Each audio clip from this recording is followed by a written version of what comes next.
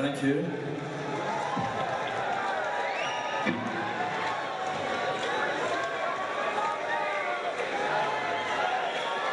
Now, once upon a time, there was a tavern.